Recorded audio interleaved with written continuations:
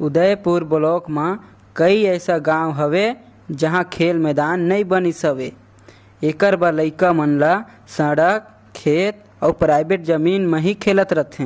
खेल मैदान नहीं हवे एकर बर लइका मन ला का का परेशानी होथे आवा हमन लइका मन ले जान थई। खेलने के लिए कहाँ जाते हो? रोड या प्राइवेट ज़मीन पर। खेले में का का दिक्कत होथे? खेले में पट्टेदार ज़मीन में गड्ढा या पत्थर या और कुछ चीज़ें रहते हैं जो हमारे पैर, पैर को लगता है और हमारे पैर में गहरी चोट लगता है इससे हम गेंद नहीं फुटबॉल नहीं खेल सकते। तो मैदान भी नहीं है पहला समस्या। कई बार लिखित दे चुके हैं तो पर भी यहाँ मैदान का निराकरण नहीं करवाया जा रहा है। और सारी समस्याएँ बच्चों को और हम लोग को भी होती है। अच्छा मैदान नहीं है खेलने के लिए तो कहाँ खेलते हैं फिर? अरे छोटा छोटा सा बाड़ी है, उसी में खेलते हैं हम लोग। सरपंच और सचिव तो निराकरण नहीं कर पाते हैं, देते हैं फिर भी। पर्याप्त खेल मैदान न होए के कारण लइका मन ठीक से नहीं खेल पात हवे। और पंचायत स्तरीय ब्लॉक, जिला या राज्य स्तरीय खेल प्रतियोगिता में भाग लेहे बर बहुत सारे परेशानियाँ कर सामना करेले पड़थे। तो आवा सरपंच और सचिव ले जानबो कि खेल मैदान काबर नहीं हवे। अच्छा सरपंच जी ये बताइए आपके गाँव में खेल मैदान नहीं है इसका क्या कारण है? देखिए अपने गाँव में जो सरकारी प्लाट है वो बड़ा नहीं है छोटा छोटा है। जो बड़ा रहे होंगे तो उसमें काबिज हो चुके हैं। का बताएँगे पैसा रुपये तो है नहीं हम लोग के पास पैसा था उसमें तो शौचालय बनवा दिए हैं। क्या खेल मैदान के लिए कभी आवेदन किए हैं? आवेदन तो वो ज़मीन नहीं इसलिए नहीं कर पाए। स्कूल के लिए किए हैं, जो स्कूल के सामने में खेल मैदान है, उसके समतलीकरण के लिए कई बार आवेदन दे चुके हैं।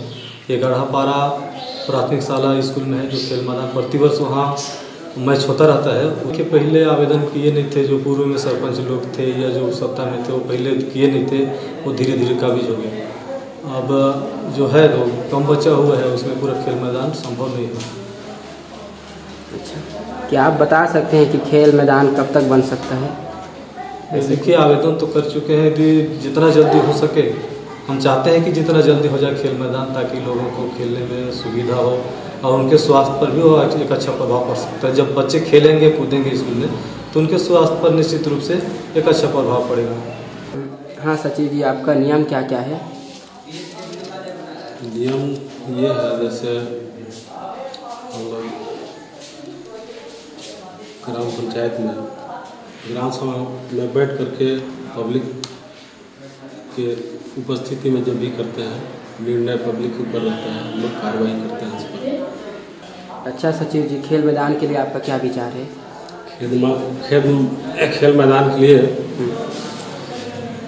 अगर शासन से रा, राशि प्राप्त हो जाता तो हम लोग और अच्छा ढंग से इसको मनाते ताकि बच्चों के लिए खेलने के लिए अच्छा जगह क्योंकि खेल कूद बच्चों के लिए बहुत ज़रूरी है।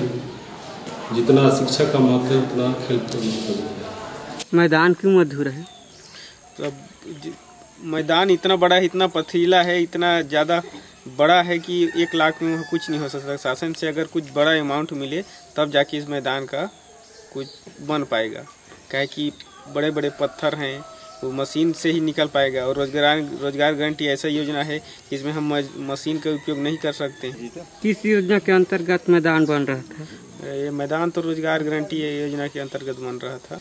वहाँ जैसे बड़े खेल हुए फुटबॉल क्रिकेट ये सब के लिए जगह थोड़ा कम पड़ता है। भूमि है तो जगह नहीं है प्राइवेट जगह में कोई खेलने नहीं देते हैं। कुछ आवेदन किए थे? आवेदन तो हम दो, दो तीन बार दिए हैं। तो खेल मैदान कम होए से प्रतियोगिता में भाग लेहे बर का का परेशानी होथे आवा हमन खिलाड़ी मन ले जानबो। कितने फाइनल मैच जीते हो? लगभग हम लोग बीस मैच जीते होंगे। फाइनल मैच जीतने के बाद कैसे अनुभव करते हैं? हमको तो फाइनल खेलने के बाद अच्छा अनुभव होता है क्योंकि इतना बड़ा अच्छा मैच खेलते हैं। उसके बाद ही फाइनल पहुँचते हैं तो फाइनल में हर खिलाड़ी को भी खुशी होता है। ट्रेनिंग तो अपने ही गाँव पे होता है, मैदान में ही, अपने ही ग्राउंड में। बच्चे को अच्छा से बुलाया जाता है, उसके बाद उन लोग को पहले तो फिटनेस किया जाता है बच्चों लोगों का, है ना, कि खेल पाएगा कि नहीं खेल पाएगा, उसके आधार पर चयनित किया जाता है, उसके बाद फिर ग्राउंड में होमवर्क खिलाया जाता है है ना, गाँव स्तरीय पे जैसे ही खिलाते हैं वैसे। उसके बाद ही जिसका सिलेक्शन अच्छा खे- गेम खेलता है, उसके बाद उसका सिलेक्शन किया जाता है, उसके बाद उसको फिर खिलाड़ी एंट्री करते हैं। ग्यारह खिलाड़ी चयनित करके फिर उनको खिलाया जाता है। उसके बाद जिसका सिलेक्शन अच्छा होता है, उसी का टीम ए ग्रुप में सिलेक्शन किया जाता है। गाँव का लड़का और युवा चाहते हैं कि खिलाड़ी बनकर देश का नाम रोशन करें। लेकिन गाँव में खेल मैदान ही नहीं रही तो कहाँ पर स्टिक करही और कैसे खेल ही? और खिलाड़ी कैसे बनी? मैं संगवारी खबरिया से महारन सिंह। अपने क्षेत्र से जुड़ी खबरों के संबंध में किसी भी तरह की अतिरिक्त जानकारी अथवा सूचना हमें अवश्य दें। हमारा नंबर है eight four three five three double zero one zero six और eight three five eight nine zero two three zero five